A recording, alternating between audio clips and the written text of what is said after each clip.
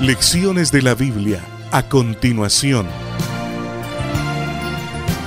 Nuestro tema para hoy lleva por título Persecución de los primeros cristianos.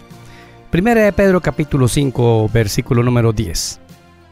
Mas el Dios de toda gracia, que nos llamó a su gloria eterna en Jesucristo, después que hayáis padecido un poco de tiempo, Él mismo os perfeccione, afirme, fortalezca y establezca.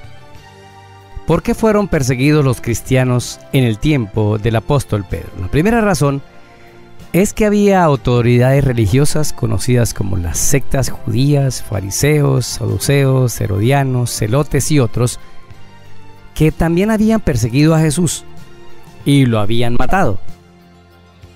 Ellos veían en los discípulos una continuidad de la obra de Jesús y entonces esa era una razón fundamental para seguirlos persiguiendo. Tenían unos conceptos equivocados acerca de la venida del Mesías, del tipo de obra que debería hacer en la tierra, y vieron en los discípulos una amenaza a su sistema religioso y por eso los perseguían. Ahora también hay que ver que sufrían persecuciones por las autoridades políticas de su tiempo. Roma dominaba el mundo y cualquier cosa que oliera a un nuevo emperador o a una insurrección eran tratadas brutalmente, masacrados. Así que ellos escuchaban que Cristo era el Mesías y para eso ellos lo veían como una amenaza. Así que no podían permitir que este movimiento creciera porque sería una amenaza de un Mesías que competiría con la hegemonía del emperador. También el sistema eh, se había deteriorado mucho. Había mucha corrupción, mucha inmoralidad. Roma cayó más como cae cualquier gobierno en el mundo o cualquier sistema, cuando el sistema se corrompe y la parte conductual, moral y de Dios no está presente, el sistema cae por sí solo. Así que ellos tenían un, un problema con los cristianos porque hablaban de la pureza, hablaban de las virtudes, hablaban de una vida cristiana renacidos y eso iba en contra totalmente contra las costumbres paganas que Roma tenía. Y también el sistema idolátrico no solamente de Roma, sino de otras religiones paganas, quienes conseguían dinero, por ejemplo, se conseguía dinero en Corinto a través de la venta de las estatuillas de la diosa Diana, eh, la ida a los templos paganos requería eh, dinero que debería depositarse, y esto, este mensaje del Evangelio de los cristianos, pues era toda una amenaza contra ese sistema que recolectaba dinero.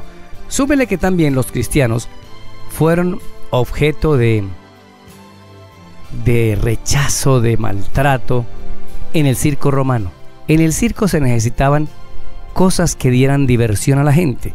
Y por eso en el circo romano, en el entremés de un gladiador contra otro, de una pelea, eran quemados cristianos, se hacía tarde en la noche, eh, se podía alargar mucho el evento, así que los cristianos eran usados como teas humanas, eran quemados, eh, eran lanzados a las fieras, eh, pero todo esto hace parte de lo que Cristo les anunció.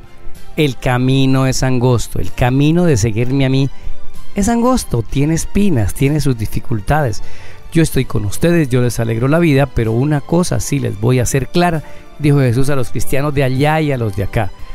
Todo aquel que quiera seguirme, elige un camino en donde tiene un enemigo malvado, que se llama el diablo, y que querrá maltratarlos y fastidiarnos la vida y hacernos las pedacitos, porque porque ese es su deleite, no puede contra Dios, entonces la toma contra nosotros. Pedro hoy nos está diciendo algo muy interesante en el versículo que leemos hoy. Las pruebas nos perfeccionan. Las pruebas nos dan firmeza. ¿Firmeza en qué? En lo que hemos creído, en nuestras creencias, porque podemos compararlas con la Biblia. Las pruebas me dan fortaleza porque yo decido que me hagan fuerte, pero finalmente nos establecen, son como un ancla que nos afirma al piso para no movernos. ¿Sufres en algo? Refúgiate en Cristo. ¿Sufres por algo? Aprovecha este periodo para acercarte más a Jesús. ¿Sufres por alguien? Aprovecha esto como un entrenamiento. Los primeros cristianos fueron perseguidos y fortalecidos y acompañados por Jesús. Los cristianos de este tiempo también tenemos el privilegio de ser guiados y acompañados en medio de la prueba por un Jesús amoroso. Soy Daniel Herrera y deseo para todos un día lleno de bendiciones.